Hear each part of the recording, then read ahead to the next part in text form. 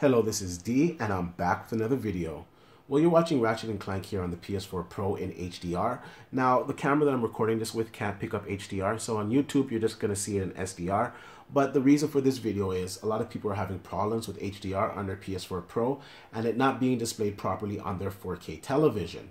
Now, uh, for this game here right now, I have it set at automatic, and it is going to 422 to chroma subsampling, which is wrong. HDR10 is supposed to be at 420 chroma subsampling. So right off the bat, we're getting wrong information. Now, I was investigating further and I went into my receiver to see the exact information on the video.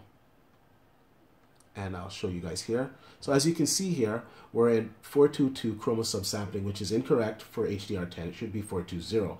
But the interesting part is that it's saying 24-bit, which is 8 bits per channel, which is 8-bit color. Now, uh, HDR is 10-bit color. It's not 8-bit color. So this is why, if you can see up in the skybox there, that I have some banding.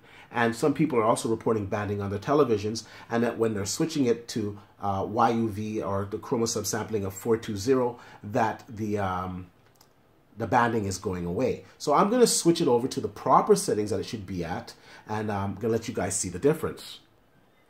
Okay, now I've manually switched it to what it's supposed to be, which is uh, YUV420 in the PS4 Pro settings, and you're having the proper chroma subsampling now of the game. Now, if you can notice, I don't know how it's coming across on YouTube, but you should see that there's no more banding up there, that everything looks a lot more clear up in the sky.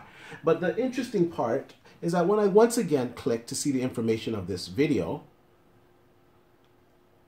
as you can see here, of course, we're in the proper 420 setting. It's at 36 bits, which relates to 12 bits per channel. So we're getting actually 12 bits of HDR at the chroma subsampling of 420, which is still incorrect. Uh, HDR is not graded at 12 bits. It's graded at 10 bits commercially right now. So I don't know why the PS4 Pro is sending uh, a 12-bit signal to the television. So I don't know. Once again, the settings for PS4 Pro and HDR all, are all over the place.